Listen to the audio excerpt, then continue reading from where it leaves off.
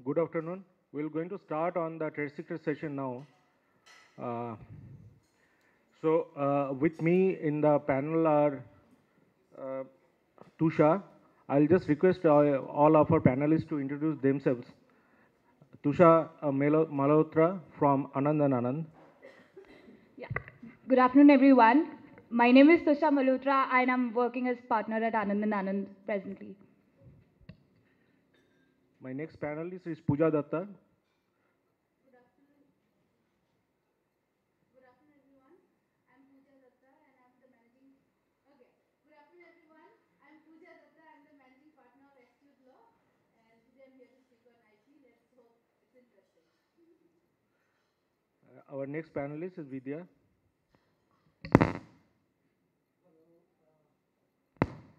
Hi, I'm uh, Vidya Bhushan Mehresh, uh, partner with Lexorbis, and I hope you have an enjoyable session this afternoon. Uh, Hi everyone, mic is too far, so, um, my name is Subramanya Sirish Tamara. Feel free to call me Sirish, simpler and easier. Um, I'm, I'm partner at Rosman Legal Services, uh, and yeah, I hope you enjoy your morning session. I hope you to the evening session. Okay. So good afternoon, everyone. Um, it is our challenge that after lunch, uh, how I, uh, we can awake you. So the, what we thought of that, we may ask you the questions from the audience. So it should be more participative than uh, uh, that only we can give the lectures here.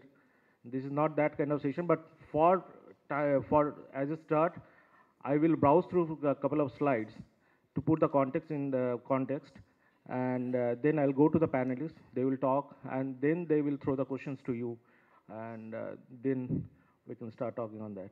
Correct? Okay. The uh, what I have thought of that in the trade secret, the few slides will be talking on the trade secret parts, the definitions and basic concepts and all these things. Then I am going to talk on that how that is pan in India today, as on today.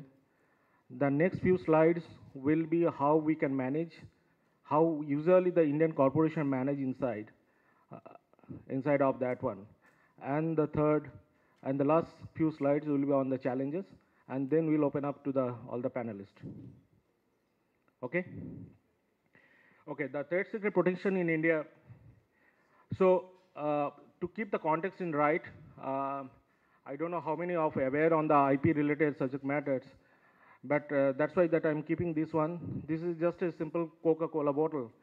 So in India, most of the times we have, in if you go to any Indian cor- uh, corporations, any Indian companies, you will see that they will tell that I have two patents, I have five patents, I have ten patents. That's all. That that means the protection for them for their product. To keep that context, a, sim, a product has am- amalgamation of all kinds of IPR rights that we need to protect in various ways. Here, the copyright and the trademark, the logos and names has been registered as a copyright and trademark. The functionality, the functional improvement, which has been protected under the patent law.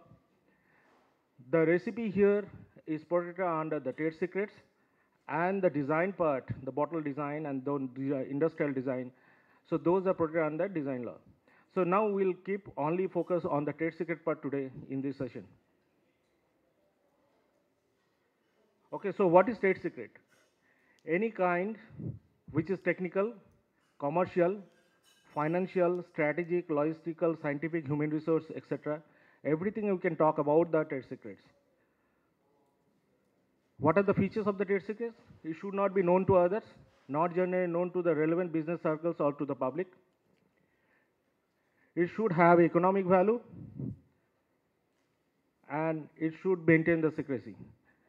If these three things are there, then that is called, we call as a trade secret. So there is a trade part, means economic value, and the secrecy part. So with that, marrying with those two things, we are talking about the trade secret. But now the next slide, I'm going to talk on the confidential information because many times people talk on the confidential informations and the trade secrets in the same way. So I'll just try to distinguish between these two words, two names, what is confidential information and what is the trade secrets. confidential information is generally limited to a single or ephemeral event in the conduct of the business, whereas the trade secret is a process or device for continuous use in the operation of a business. So factors used for the court to determine whether information is a trade secret, generally it is the extent to which the information known to the outside the owner's business, even within the business also, that how many people knows those kind of uh, informations, that also subject matter. The extent to which his employees and the officers in this business know it, the extent of measure taken by the corporation to guard the secrecy of the information, the value of information to him and his competitors, the ease or difficulty with which the information may be legally acquired by others, the amount of time, skill, effort, capital, etc. that has been put to develop that information. So if you look to these six, points, I'll just throw one questions to now to the audience. How many, if you uh, don't, how many are few uh, from corporates here? Anyone is here from the corporates? One. Okay, anyone is the law lawyers, the law firms? You are working with the corporates, correct? So how many of you are working with the corporates? Okay. Okay, can you tell one, uh, any one of you, that all these six points, whether it is followed today in India?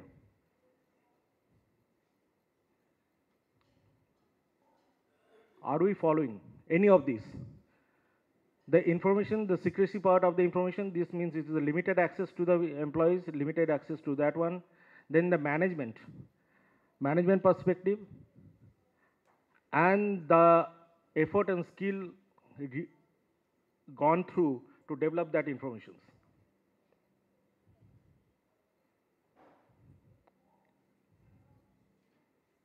Yes, no.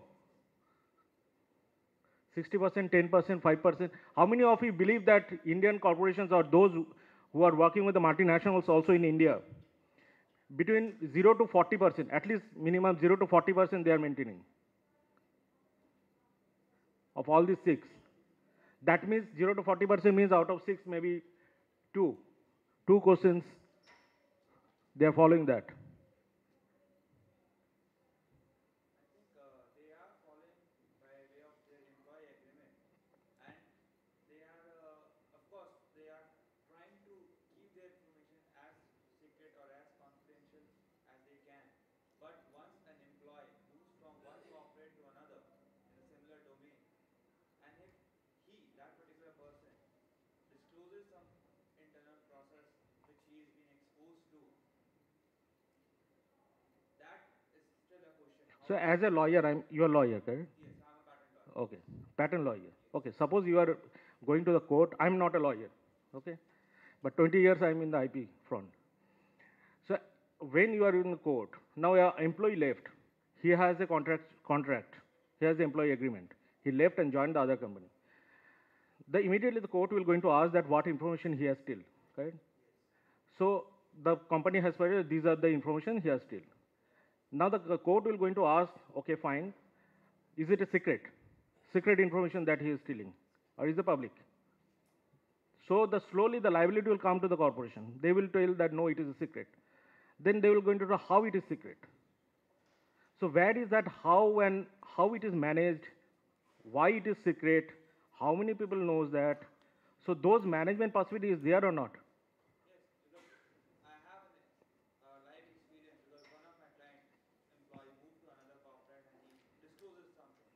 Then these questions were asked in the court and my client was keeping all the documents in place, all discovery was done and they showed the documents to it's a secret and this person has given this confidential information to them and court has given orders in favor of my client.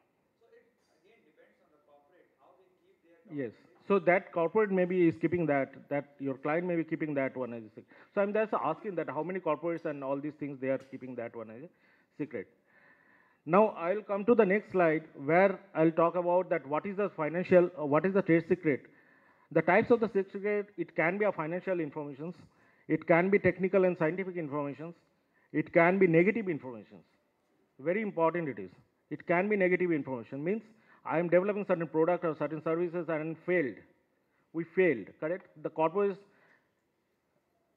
gives, uh, spends lots of lots of money on the, on the, the failed processes.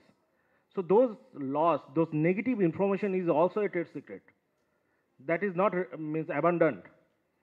So that also that if someone takes that one and gives to the other company, that is also trade secret violation. The next is the commercial information also.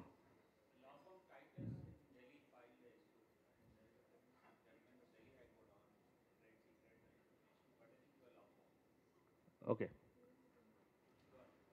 So if you can elaborate that case.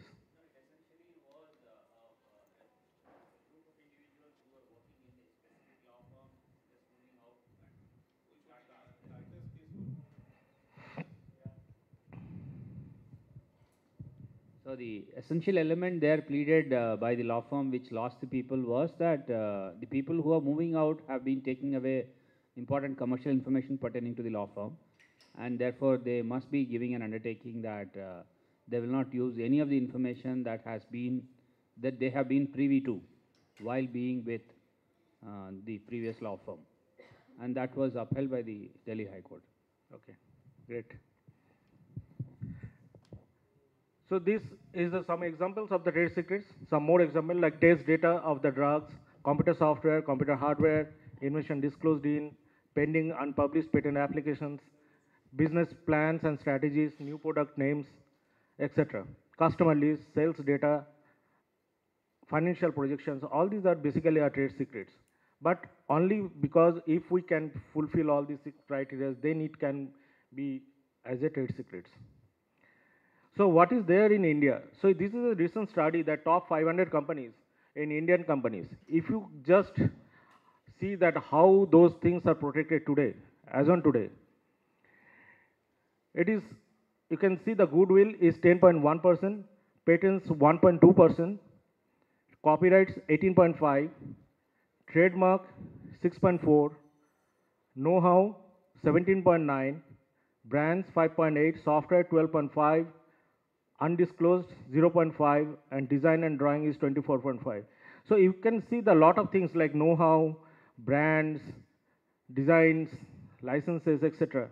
Those are actually the the assets, the intangible assets, and uh, how we can protect those kind of things. So uh, now I'll slowly come into that one. What are the protections available here?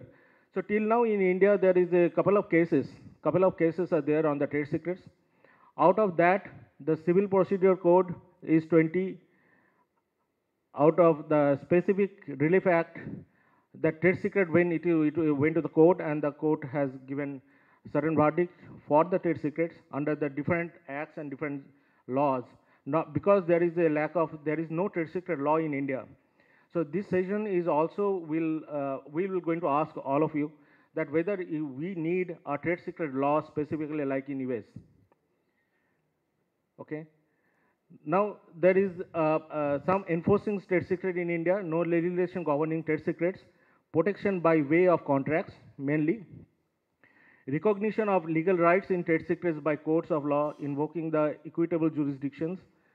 Past cases show attempts to combine causes of action with violation of statutory IPRs. Other statutes such as IT Act is also relied on. Some more on that. The Specific Relief Act and the Civil of, uh, Code of Civil Procedure are relevant in enforcing contractual obligations under a trade secrecy agreement. Contract Act governs the validity and enforceability of the agreements in general, and arbitration is the preferred route to the resolve the uh, disputes. As on today, what is happening in India, I'm just giving that scenario. Research revealed that 21 reported cases related to the trade secrets. It is this strategy is a bit uh, bit old. It is 2010 statistics. Of the 21 cases, 20 related to the breach of confidentiality by the employees. At least one case uh, each attached to the Information Technology Act, the Indian Penal Code, the Arbitration and Conciliation Act, and the Designs Act. No reported case offers a definition of the trade secrets per se. at least one case in the Delhi High Court invoked a wider equitable jurisdiction and awarded injunction even in the absence of the contract. So what are the uh, advantages and disadvantages? So no advantage, no legislation, therefore no registration is uh, registration cost, immediate effect, no other submissive requirements, no disclosure requirement, no written description. Disadvantage difficult to maintain uh, uh, for the longer period, limited scope of the protection, etc., etc. Now the next question will ask that what are the these are the recent studies that what I have done the national IP strategy, you have, I think all of you have the draft policy, national IP policy, correct? That has been uh, there to the public for all of us opinion. And in that, uh, in that, uh, give me that. Yeah, this is the draft policy of uh, uh, National Intellectual Property Rights Policy, NIPP, Government of India. That draft has been published to the public for your opinion. And there is only one clause, 3.1 is dedicated for the trade secrets, not much on that. So there is a lot of scope on the trade secrets parts because it is, it is, uh, there is no trade secret laws in India which required. But other than that, there are a couple of other new policies which is drafted in 2011, 2012. So you see in the national manufacturing policy, national competition policy, everywhere there is a IP clauses has been introduced. Uh, not per se the trade secret clauses, but IP clauses has been in SEBI, uh, section 49. This is almost equivalent to the SOX compliance. So everywhere now the IP is coming into that one. So it will be enforced maybe uh, at, um, maybe very soon more and more. Another thing is coming into the accountancy principle. Indian GAAP is also changing according to the IFRS standards. So where mandatorily the intellectual asset also has to be disclosed. So those things when it will be enforced, then more and more this kind of because majority, as you see from the majority of the Indian corporation, uh, uh, they mainly in the IT and the other sectors, they protect their their assets, intellectual assets,